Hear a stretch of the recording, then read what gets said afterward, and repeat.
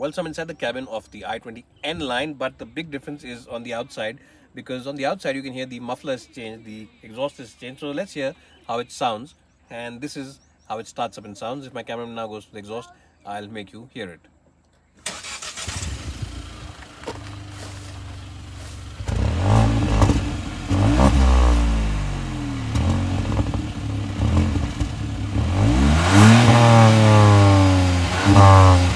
감사합니다.